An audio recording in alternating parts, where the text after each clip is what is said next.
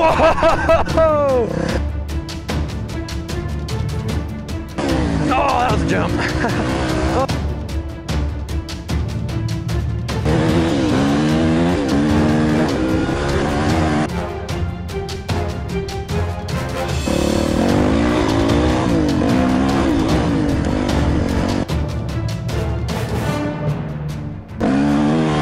Whoa!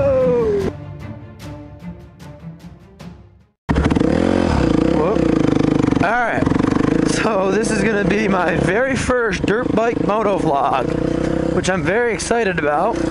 Um, I'm not sure how it's gonna go because I need a lot of concentration to ride this thing. So uh, I, I might not really be able to ride that fast or that that much, you know, like that intensely. But anyway, we're gonna give it a shot. So what I want to talk about is should I, or anyone for that matter, or shouldn't I, uh, try to convince someone to buy a motorcycle? A lot of people who are just they, they, they want to ride, so there's somebody who, who has the want to, but they're too scared to because they don't want to get hurt, and they don't want to, um, you know, or, or they don't want to get killed. Now, obviously, that's a very valid concern, and I would never try to tell someone it isn't because it could happen. Um, but but that being said, is it something that you should try to comfort someone and tell them, no, no, don't worry about it. Yes, it's risky, except you know, blah blah blah. You know, this reason, that reason, that reason. You should you should still do it, or is it something that somebody has to solely make the decision on on their own, and you can't try to influence what they want to do?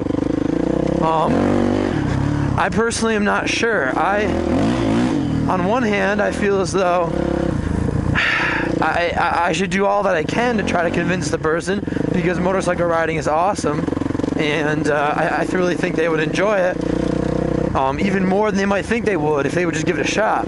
But on the other hand, if they did get hurt, the last thing I need is for them to to regret their decision because they weren't the one who, to say, fully made it.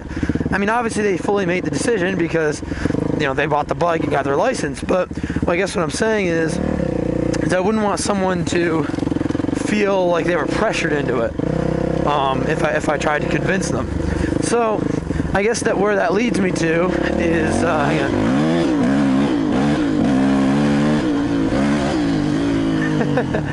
like so I guess what the question it brings up for me is is it is it bad to try to convince someone? You know, I'm not one to pressure people into things that they don't want to do. I've I've always been everything I do in my life I do because I want to do it. I don't let somebody pressure me into it.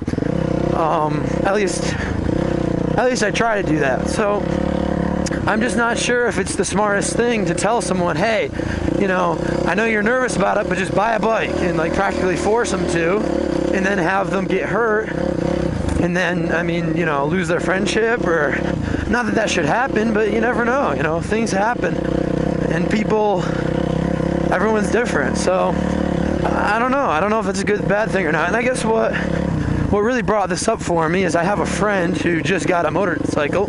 Hang on. that was pretty tough. I have a friend who just got his motorcycle license, and, and, and this was one of the things that he was really battling with himself.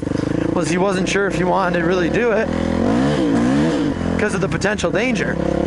And to that, you know, we, we both had a good conversation about it, and we both determined that there's just no reason to not do something you love, or at least that you think you love, to try it out, just because you think it might be dangerous. Because you know, what, what kind of life are you going to live if you never do anything fun? Um, and, and, you know, that's the motto I go by too. You know, I, I have a dirt bike, a high-powered racing dirt bike that'll do 80 miles an hour on one tire, and I have a pretty dang powerful Harley Davidson that'll go, you know, a buck 20 down the highway and I'm still here. You know, I, I'm not I'm not the dumbest rider in the world, and I'm not the smartest rider in the world.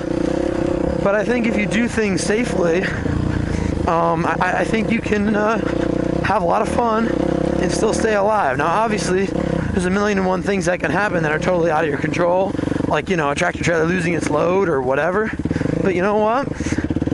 It's just one of those things. I mean, you could be walking down the road and uh, get hit by a car. You know, walking on the side of the road. Um, you know, riding a bicycle, whatever. So there's just there's a, there's so many different th- things that could happen, and I think if you worry about them so much that you don't do anything, then what's the point of living? Now, obviously, that's a little bit off topic from. Oh, Jesus, mud. ah, fuck. Ah, prickers. That one got me good. There's one stuck to me. Ah, there we go. Jeez. I gotta get out of here. That'd be neutral. Oh, I'm getting covered. Alright.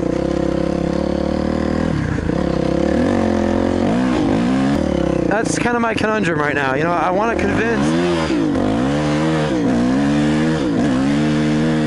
I'm not sure.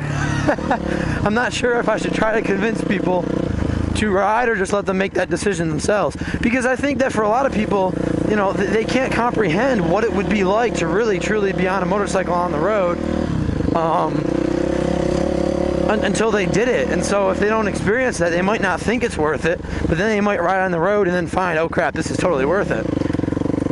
And that's kind of what my friend and I talked about too on our ride. Actually, it was the first ride that he had ever, that we had ever been on together because he just got his license, which was really cool too. And I'll have footage from that up eventually, but I got to edit that as well. Um, and I know he watched my video, so he knows who he is. But um, ah, there we go. um, that's neutral. That's second. There we go. Whoa! That was a little jump right there. Ah, there we go.